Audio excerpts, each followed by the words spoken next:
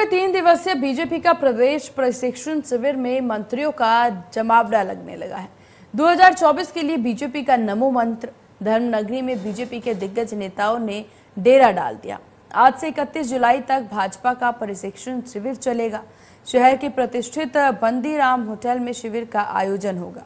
सुरक्षा के कड़े बंदोबस्त किए गए हैं।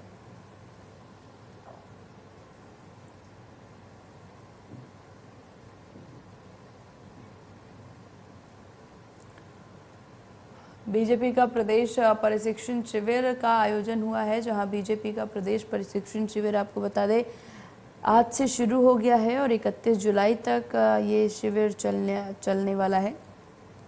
2024 के लिए बीजेपी का किस तरह से नमो मंत्र रहेगा, उसकी तैयारी करते नज़र आएँगे बीजेपी के तमाम यहाँ पर नेता जो हैं, दिग्गज जो हैं। वो सभी पहुँच गए तो बीजेपी का ये प्रदेश प्रशिक्षण शिविर है, जिसमें तमाम बीजेपी कार्यकर्ता, नेता इसमें शामिल होते नज़र आ रहे हैं।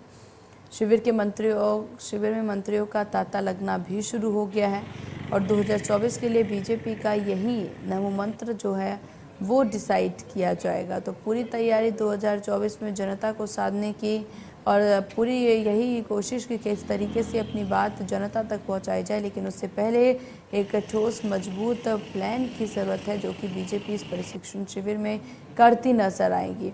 देखने वाली बात होगी कि और वो कौन से दिग्गज हैं, वो कौन से नामी नाम हैं जो इस शिविर में भाग लेते हुए नज़र आएँगे। हालाँकि अभी आपको बता दें बीजेपी का प्रदेश प्रशिक्षण शिविर में बहुत से मंत्री जो हैं, उनका तांता लगना शुरू हो गया है और उसी को लेकर के तैयारियाँ भी पूरी नज़र आ रही हैं।